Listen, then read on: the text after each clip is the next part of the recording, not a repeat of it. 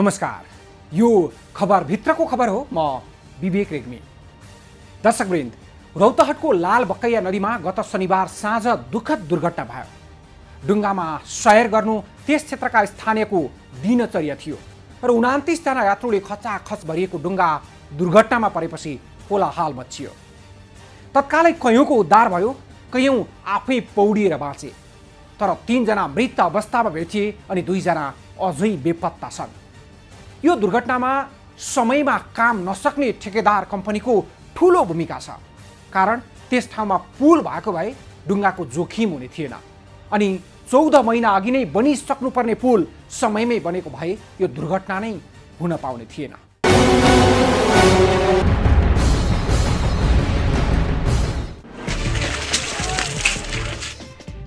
यो रौतहटको गौर नगरपालिका चारमा पर्ने टिकुलिया घाट। र यो यहाँ बन्दै गरेको पक्की पुल। जुन चौध महिना अघि नै निर्माण सम्पन्न भएर प्रयोगमा आइसक्नुपर्ने थियो। तर बनिसक्न अझै कति वर्ष लाग्ने हो यकिन छैन। एक वर्ष अघिदेखि त यहाँ कुनै काम नै भएको छैन भन्दा पनि हुन्छ। एक वर्ष अघि जस्तो अवस्थामा थियो अहिले पनि उस्तै अवस्थामा अलपत्र छ यो पुल। यही पुल बनि नसकेका कारण स्थानीयहरू वारपार गर्न डुङ्गालाई नै एकमात्र विकल्प बनाइरहेका छन्। पुल बनेपछि राहत महसुस हुने आशा थियो स्थानीयलाई तर ठेकेदारले बदमासी गरिदिए। त्यही बदमासीका कारण यो दुःखद दुर्घटना पनि सहनु पर्यो। दुई हजार बैसठी सालमा पनि डुङ्गा दुर्घटनाले ठुलो जोखिम उठाएकै हो। दर्जनौँले ज्यान गुमाएका थिए र तत्कालीन प्रधानमन्त्री सुशील कोइरालाजीले जुन पुलको शिलान्यास गर्नुभयो लालबगिया पुलको हामी धेरै उत्साहित थियौँ पुल बन्छ भनेर। अब डुङ्गाबाट वारी र पारी तर्न अब पर्ने झन्झट हट्यो सङ्कट टल्यो भनेर हामी उत्साहित थियौँ। तर त्यो उत्साहित हाम्रो सपना पुरा भएन। हामी उत्साहित मात्रै भयो। हिजोको बाढीले पनि बाढी जुन आएको थियो त्यहाँ डुङ्गा दुर्घटना भयो। पप्पु कन्स्ट्रक्सनले समयमा पुल नबनाउँदाखेरि जुन पुलको पिलरमा ठोकिएर डुङ्गा दुर्घटना भयो कैयौँले ज्यान गुमाउनु पर्दा हामी धेरै मर्माई छौँ। पुलको बिम पनि ढालिया छ उसमा राम्रोसँग ढालिया छैन त्यो सालभरि पनि टिक्दैन। यो त्यो पुलको कारणले यो घटना घटिराखेको छ। प्रत्येक साल यही धन्दा हो। तिन वर्षको टेन्डर थियो उसको छ वर्ष भइसक्यो।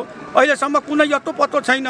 जब बाढको बेला आउँछ त्यो पुलको काम सुरु गर्नको लागि तयार हुन्छ उसले।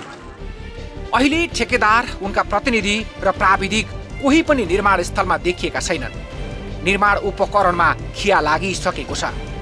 लाल बकैया पारीका बन्जराहा औरैया मठियाबाट सदरमुकाम गौर आउजाउ कठिन भएपछि तत्कालीन प्रधानमन्त्री सुशील कोइरालाले दुई हजार एकहत्तर असार उनातिस गते यो पुल शिलान्यास गरेका थिए। टिकुलिया घाट स्थित लाल बकैया नदीमा पक्की पुलको शिलान्यास भइरहँदा नदीका दुवैतर्फका गाउँले निकै हर्षित थिए। तीन वर्षभित्रमा पक्की पुल बन्ने र सो पुलले स्थानीयको मुहारमा खुसी ल्याउने आशा थियो।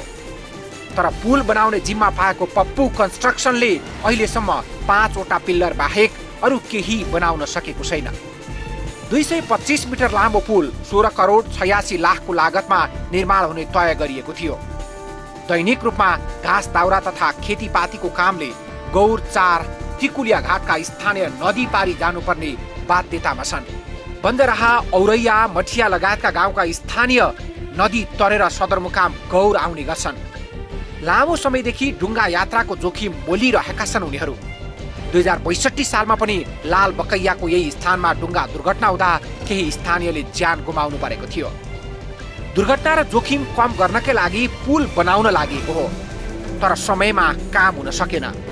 ठेकेदारले निर्माण लापरवाही गरेपछि सडक डिभिजन कार्यालयले दुई हजार चौहत्तर माघ उनातिस गते सम्झौता अनुसार काम नगर्नुको कारण माग्दै पत्राचार गरेको थियो। तर सञ्चालक हरिनारायण रौनियारले बेवास्ता गरे। डिभिजनले चैत छ गते अर्को पत्र पठाएर काम चित्त बुझ्दो नभए सार्वजनिक खरिद ऐन अनुसार कारवाही हुने चेतावनी दियो। सात दिनभित्र प्रगति विवरण सहित उपस्थित हुन चैत पच्चिस गते थप पत्र पठाइयो। तर रौनियारले म्याद सकिएको करिब सात महिनापछि म्याद थपको निवेदन दिए। उनले निर्माण सामग्री अभाव बन्द हडताल भूकम्प वर्षा बाढी र चाडपर्वको बहाना देखाए। दोषी सबैलाई थाहा भइसकेको छ। किनभने यो हाम्रो जुन पप्पु कन्स्ट्रक्सन छ जसले गर्दा जुन ठेकदारले गर्दा यो पुलको लप बनाउन एकदम ढिलो गरेको हुनाले यस्तो घटना भएको हो। किनभने पुल यदि तयारी भएको अवस्था आज यस्तो भिन्न पटक पटक चाहिँ यो घटना हुने थिएन। र यो पुराको पुरा हन्ड्रेडमा हन्ड्रेड जिम्मेवारी चाहिँ हाम्रो ठेकदारको। यो ठेकदारले गर्दा चाहिँ हामीलाई यो हाम्रो नगरको नगर जनतालाई चाहिँ गुमाउन परेको एकदम हामी धेरै दुखित छौँ। त्यसो त जिल्ला प्रशासन कार्यालयले सम्भावित दुर्घटनालाई ध्यानमा राखी तीन महिना अघि पुलको सबै विवरण मागेको थियो। प्रशासनले पप्पू कन्स्ट्रक्सनले पुल निर्माण अलपत्र पारेको भन्दै गृह मन्त्रालयमा विवरण पनि पठाएको थियो। तर सुनवाई कतैबाट भएन? अब हामीले समयमै काम नगर्ने जिल्लाका जुन निर्माण व्यवसायीहरू हुनुहुन्छ। उहाँहरूको सबैको विवरणहरू सङ्कलन गरेर गृह मन्त्रालयमा यसअघि नै पठाइसकेका छौँ।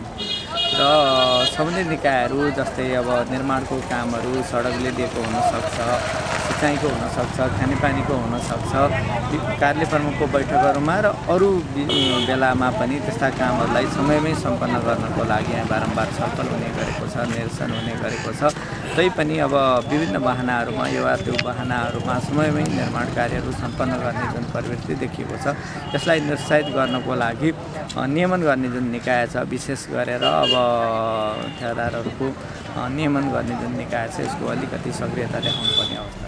पप्पू र शिवशङ्कर कन्स्ट्रक्सनले रौतहट जिल्लामा चारवटा पुल निर्माणको ठेक्का सकारेका छन् केही स्थानमा निर्माण चलिरहेको छ गत संसदीय निर्वाचनमा सङ्घीय समाजवादी फोरमबाट चुनाव जितेपछि हरिनारायण रौनियारले कन्स्ट्रक्सनको जिम्मा जेठो छोरा सुमितलाई दिएका छन्। कस्तो विडम्बना? चौध महिना अघि निर्माण सम्पन्न भइसक्नुपर्ने पुलको अलपत्र पिलरहरूमा ठोकिएर भएको थियो दुर्घटना। एक वर्ष अघिदेखि त पुल निर्माणको काम नै अलपत्र अवस्थामा छाडिएको छ। जुन पुलको निर्माणको जिम्मा लिएको छ पप्पू कन्स्ट्रक्सनले। तर अन्यत्र जस्तै उसले अलपत्र छाडेको छ यो पुल पनि। उसकै लापरवाहीका कारण भएको दुर्घटनाको दुःख देखाउँछौँ? हामीसँगै रहनुहोला। दर्शकवृन्द एउटा नाम चलेको ठेकेदार कम्पनी पप्पू कन्स्ट्रक्सन। सांसद हरिनारायण रौनियारको उक्त निर्माण कम्पनीको बदमासीका बारेमा हामीले धेरै पटक बोलिसकेका छौँ र बदमासीका श्रृङ्खला पटक पटक पालै पालो देखाइसकेका छौँ। त्यसो त हामीले आवाज उठाएपछि गृहमन्त्रीले समयमा काम नगर्ने ठेकेदार कम्पनीलाई कारवाही गर्ने अभियान पनि चलाए। तर गृहमन्त्रीको अभियानको प्रभावकारिता देख्न पाइएन। बरु पप्पू कन्स्ट्रक्सनले समयमा काम नगर्दा रौतहटका स्थानीयहरूले दुर्घटनामा ज्यान गुमाउनु पर्यो।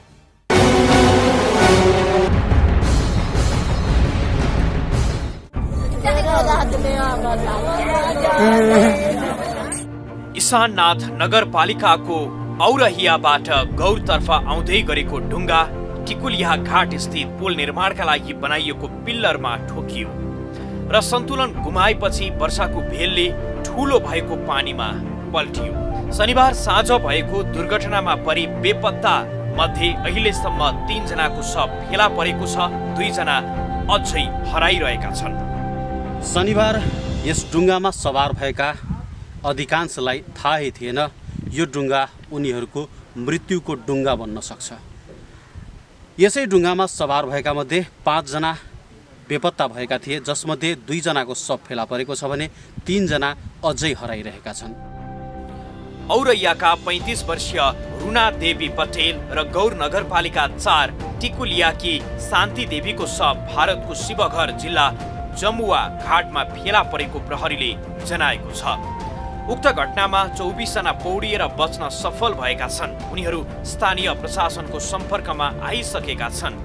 हराइरहेकाहरूको खोजी कार्य जारी छ अनि हराइरहेकाहरूलाई खोजिरहँदा एउटै कुराले स्थानीयहरूलाई ननिको लागेको छ। त्यो हो दुर्घटना भएको ठाउँमा पुलको पिल्लर नभएको भए कसैको मृत्यु नै हुने थिएन।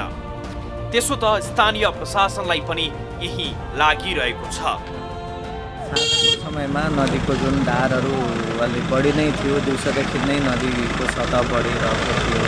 त्यसैले साँझको समयमा त्यति धेरै यात्रुहरू राखेर डुङ्गा चलाउँदाखेरि अलि सावधानीहरू अप्नाउनु पर्छ साथ उनीहरू अप्नाएको अवस्था चाहिँ देखिँदैन।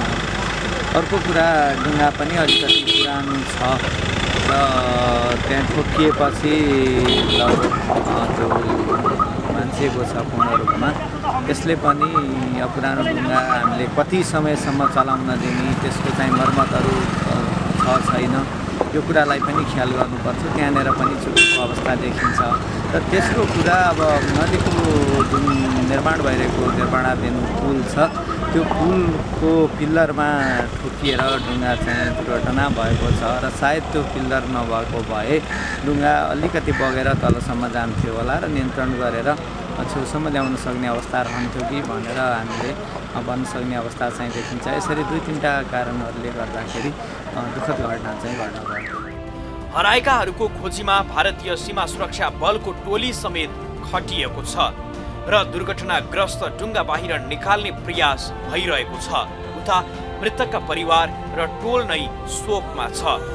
गौर नगरपालिका चार टिकुलियाका दिनेश पटेलको घरमा शनिबार रक्षाबन्धन पर्वको तयारी हुँदै थियो।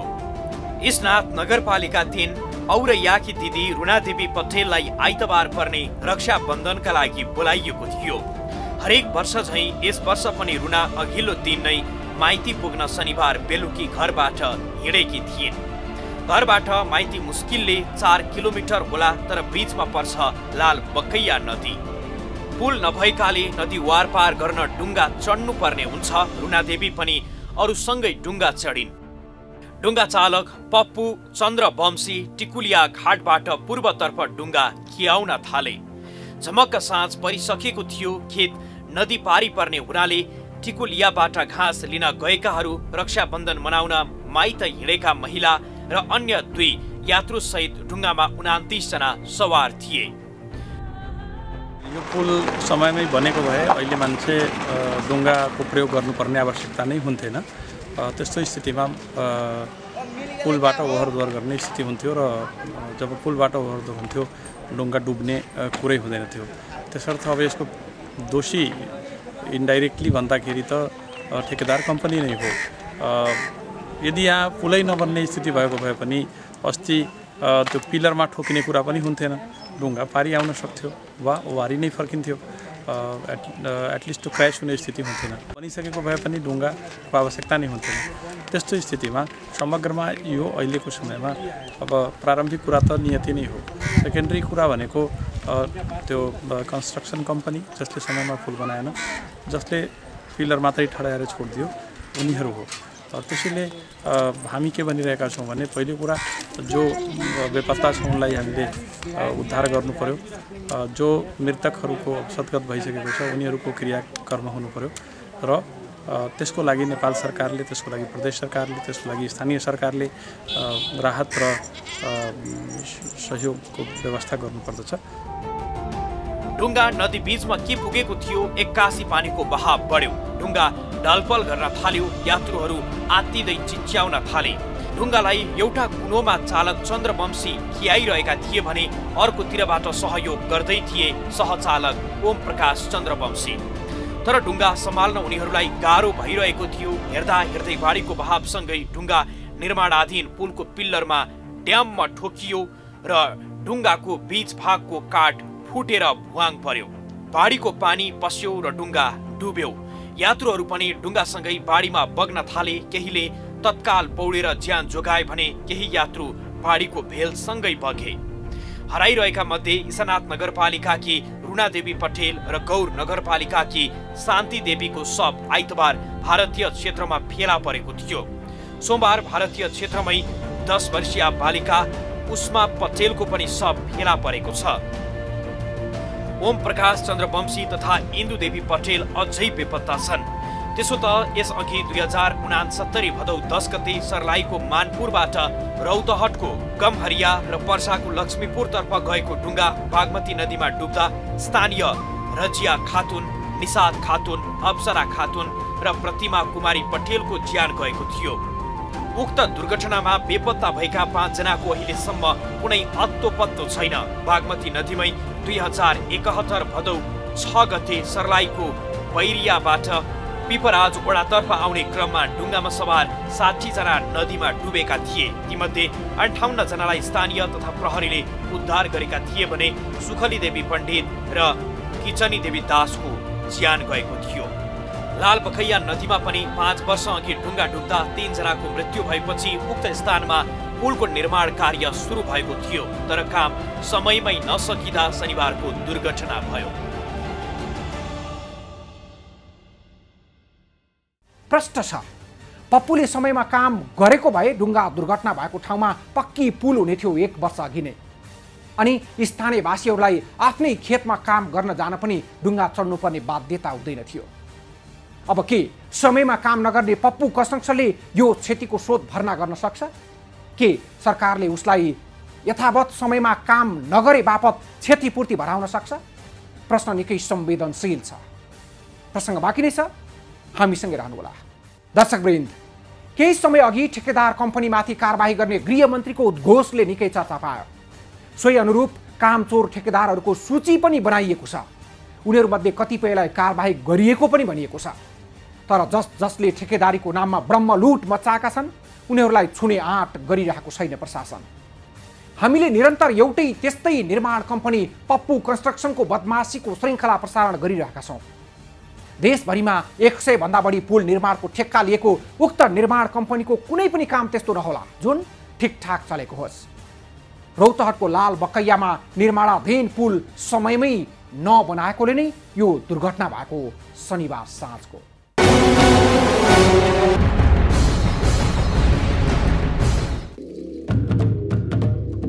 विकास निर्माणको ठेक्का लिएपछि समयमै काम नसक्ने परिपाटी नै बसेको छ हाम्रो देशमा।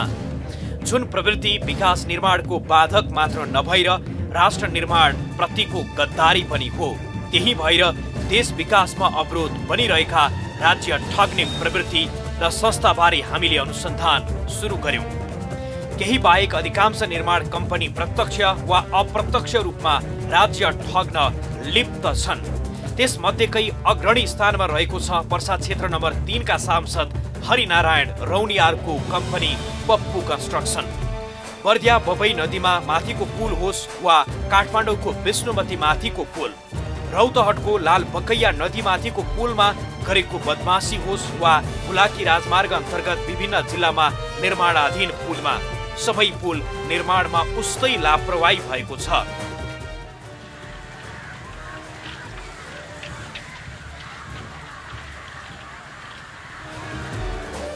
बर्दियाको बबई नदीमाथिको पुल जुन निर्माण गरेर सरकारलाई हस्तान्तरण नगरिँदै भाँचियो। जुन पुल भाँचिनुको कारण हो निर्माण कम्पनी पप्पु कन्स्ट्रक्सनको लापरवाही सो पुल भाँचिएको एक वर्षभन्दा बढी समय बितिसकेको छ। पप्पु कन्स्ट्रक्सनले गरेको बदमासी राजधानी काठमाडौँमै पनि देख्न सकिन्छ। राजधानीको विष्णुमती खोला माथिको पुल निर्माणको क्रममा कमसल सामग्री प्रयोग गरेको देखियो।